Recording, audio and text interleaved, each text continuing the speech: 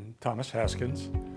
I, uh, I'm an attorney, so I'm litigation co-counsel. I work with Chester Law Group. I was born in West Virginia, been here in Ohio since 1966.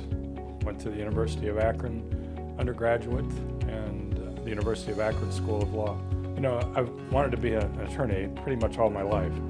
The day I graduated from law school, my mother handed me a, a paper that I'd written back in fifth grade, and it was that I wanted to be a lawyer. If the negotiations for the client are unsuccessful, at least with the insurance carriers, then at that point it requires litigation to start. So that's when I get involved is uh, court proceedings. I like being in court.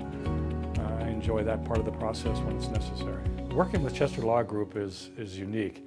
They care about the people, they care about the process, they work as hard as they possibly can, and when I get involved, everything that's been done um, is done the right way.